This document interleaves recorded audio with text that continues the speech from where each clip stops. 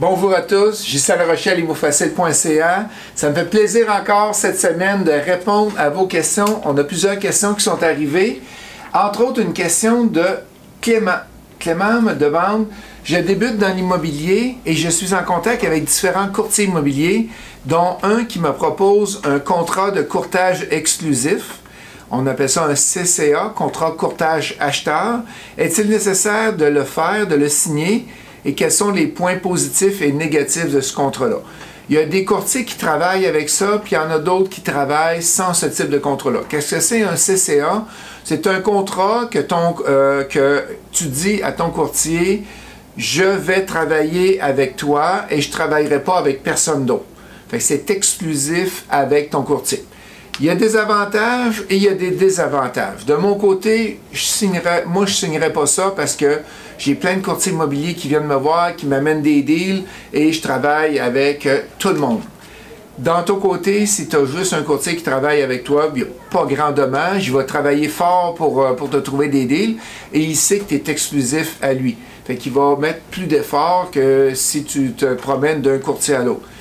Les désavantages, c'est que si un autre courtier qui t'amène un deal, ben, tu ne pourras pas le prendre. Mais est-ce que, c'est est-ce que ça t'est arrivé, Clément, d'avoir euh, un courtier que tu travailles avec, puis un autre courtier qui l'amène? Sinon, il n'y a pas grand risque. c'est une méthode de travail qui peut, fonctionner. Ça dépend des types de personnes et qu'est-ce que tu cherches et s'il y a beaucoup d'immeubles dans ton, dans ton marché. On s'en va avec la deuxième question. Antoine nous demande Bonjour Ghislain, nous sommes quatre partenaires qui désirent acheter un chalet pour la location court terme. Comme vous avez vu dans ma formation qu'on a faite euh, récemment, le chalet locatif, comme la banque risque de nous demander 30% de mise de fonds avec une hypothèque sur 15 ans, serait-on mieux d'utiliser un prête-nom pour être en mesure de financer avec la CHL? Si oui, comment en trouver un prête-nom? Bien, la première réponse, malheureusement, la SCHL ne, ne fait plus de financement avec du chalet locatif. Donc, tu es obligé d'y aller avec un minimum de 20-25% Donc, ton prête-nom ne fonctionnera pas. Peut-être que c'est des courtiers hypothécaires qui écoutent euh, ce petit vidéo. Pouvez-vous me dire si la Gentwork et l'autre compagnie n'en font du chalet locatif? Avec 95% euh, de financement. Selon moi, non, mais je ne suis pas certain. Mais je sais que Antoine, malheureusement, la SCHL ne le fait pas. Donc, le prête-nom ne fonctionnera pas dans ton cas. Euh, question de Nathalie. Quand on veut acheter un plex de 6 et plus, 6 logements et plus, est-ce qu'on doit avoir la preuve de mise de fonds avant de faire l'offre d'achat? Et pourrais-tu me nommer les étapes à partir du moment qu'on est intéressé à un immeuble jusqu'à l'achat, l'offre d'achat. Tu vas voir, Nathalie, c'est super simple. Tu as de l'intérêt pour un immeuble, tu fais des calculs, tu fais l'offre d'achat. Fait qu'il n'y a pas 42 étapes entre les deux. la plupart des gens, qu'est-ce qu'ils font? Ils, ont de l'intérêt un immeuble. Là, ils vont faire les calculs, ils vont faire les soumissions, vont faire l'évaluation, vont faire ci, vont faire ça. ils vont en faire, ils vont faire 52 affaires. Ils vont attendre que toutes les lumières soient vertes dans la ville pour dire OK, on traverse. Mais c'est pas ça qu'il faut faire. En immobilier, il faut être rapide. Fait que c'est, tu as de l'intérêt, tu fais le calcul, ça a l'air bon, tu fais l'offre d'achat, tu vérifieras après. C'est qu'on monte, on se montre des belles, euh, des, belles offres d'achat.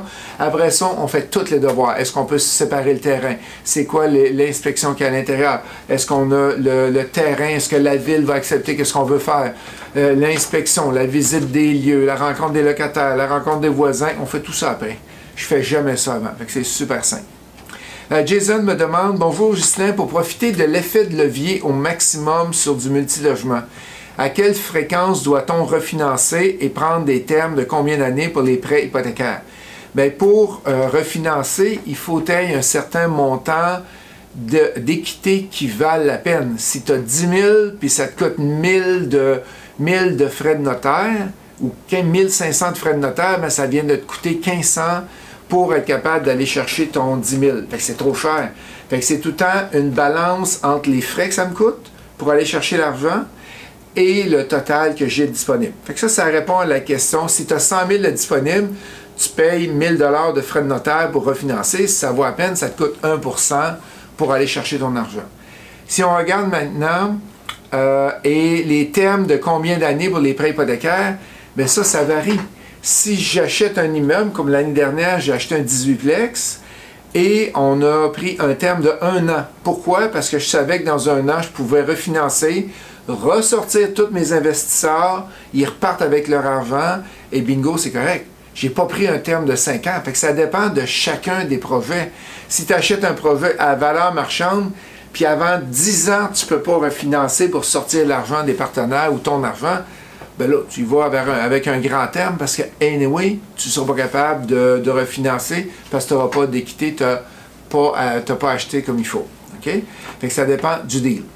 Et euh, une autre question de Jason, fais-tu affaire avec un courtier hypothécaire pour chaque nouvel immeuble que tu achètes ou bien est-ce que tu sais quel prêteur aller voir avec ton expérience maintenant? Je pense surtout au multilogement.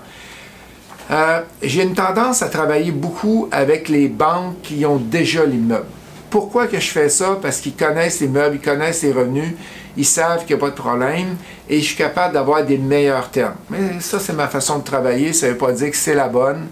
Euh, quand j'ai des immeubles un peu plus compliqués, je fais affaire avec des courtiers hypothécaires qui vont pouvoir me trouver exactement la bonne banque qui va me permettre d'acheter l'immeuble. Par exemple, dans le commercial, il y a des banques qui vont travailler avec euh, les centres d'achat.